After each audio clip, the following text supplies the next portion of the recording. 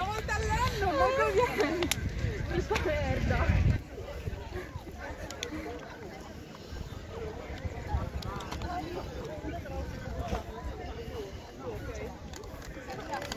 imperiale allora ah, fate fuori